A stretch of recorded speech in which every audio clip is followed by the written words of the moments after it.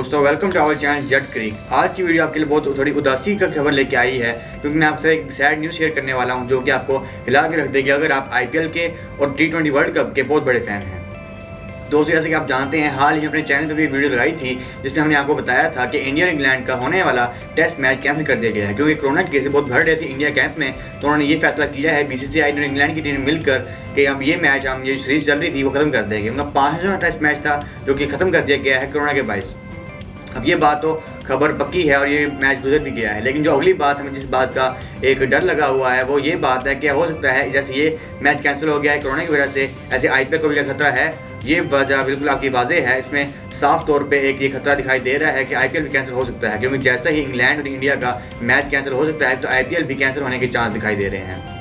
दोस्तों, ये बड़ी बात नहीं होगी। अगर आई कैंसिल हो जाए, पहले लोगों को उम्मीद थी कि अब ओमान में और दुबई में उन्होंने स्टेडियम बुक कर दिए हैं और स्क्वाड भी आ गई है, वेन्यू भी आ गई है, हर चीज़ आ गई है। लेकिन अब हमें देखना ये है कि जो आई को मैच जो होने वाला है, क्या वो हो पाएगा ही नहीं? ऐसी कई सी फेक खबरें उड़ रही हैं, लेकिन हम आपको अपने चैनल पर बता दें वीडियो पे कि ये खबर अभी कोई पक्की नहीं आई। हम आपसे सिर्फ़ शेयर कर रहे हैं कि ऐसा होने का एक चांस मौजूद है।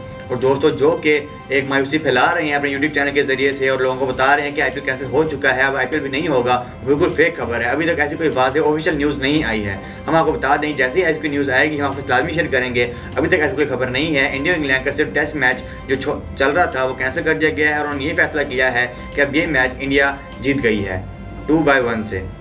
और अब ये पक्की खबर नहीं आई है कि आईपीएल कैंसिल होगा या नहीं होगा। हमें तो लगता है कि आईपीएल ज़रूर खेला जाएगा, क्योंकि ओमान में और यूएई ने काफ़ी सेफ्टी का बहुत अच्छा इंतज़ाम किया है और कोरोना के एस को मुकम्मल मद्देनजर पर रखा जाएगा।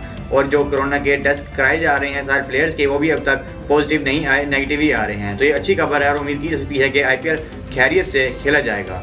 दोस्तों, इसी के साथ हम वीडियो को इख्ताम करते हैं और नई वीडियो आएगी, हम लाजमी अपडेट करेंगे। और इस वीडियो को देखने के लिए हमारे चैनल डट को भी सब्सक्राइब कर दें और इस वीडियो को ज़्यादा शेयर करें ताकि जो लोग समझ रहे हैं कि आई कैंसर हो जाएगा, उनकी ये टेंशन भी दूर हो जाए।